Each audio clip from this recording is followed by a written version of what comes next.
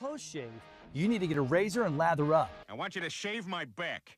For a quick shave on the go, you need to settle for an electric.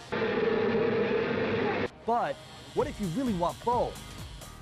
Nick Bolton here with the newest addition to our tactical tactical Tactical. line, the Bell and Howell Tac-Shaver.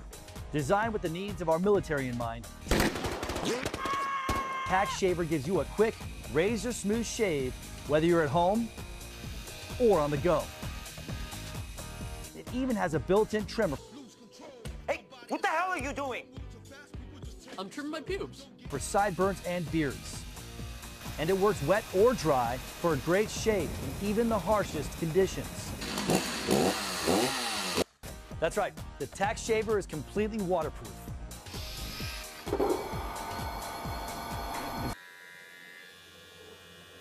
In fact, you could even use a Tac-Shaver underwater and still get a great shave. Lady is shaving in the pool.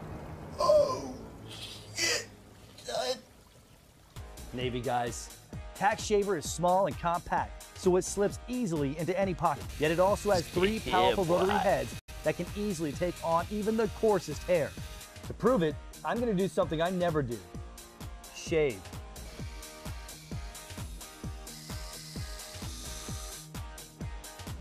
As you can see, it easily handled even my stubborn stubble.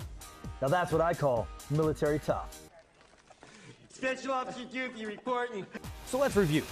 Tac-Shaver gives you a quick, razor smooth shave. Nice job, Chris. You got my shirt wet. Features a built-in trimmer. Works wet or dry, even underwater. And has three powerful shaving heads. I mean, there's just nothing like it on the market today.